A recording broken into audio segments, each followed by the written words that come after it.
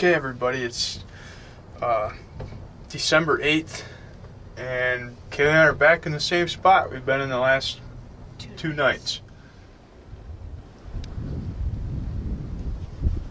Take your time and just squeeze the trigger right on his shoulder. Okay, I'm good. Ready? Got him. You got him. I can't believe that just happened. Cal, I should I knew that's where he was staying was in the red brush.